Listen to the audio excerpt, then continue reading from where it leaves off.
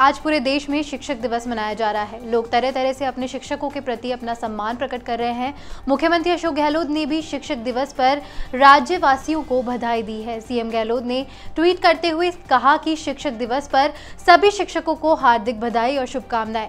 शिक्षक समाज के पद प्रदर्शन है। शिक्षक सही मायने में राष्ट्र निर्माता है। शिक्षा और संस्कार देने के साथ ही विद्यार्थियों के व्यक्तित्व विकास में उनकी महत्वपूर्ण भूमिका है। उन्होंने कहा कि राज्य सरकार प्रदेश में शिक्षा को बढ़ावा देने और शिक्षकों के सम्मान में अभिवृद्धि के लिए संकल्पित है। कोरोना काल की विषम परिस्थितियों में शिक्षकों ने अपनी शैक्षणिक जिम्मेदारियों के साथ साथ सामाजिक दायित्वों का भी प्रतिबद्धता के साथ निर्वह किया है। मुख्यमंत्री ने कहा कि इस अवसर पर विद्यार्थियों का आह्वान है कि वे अपने गुरुजनों के प्रति श्रद्धा और सम्मान की महान भारतीय परंपरा को और मज़बूत बनाते हुए श्रेष्ठ नागरिक बने।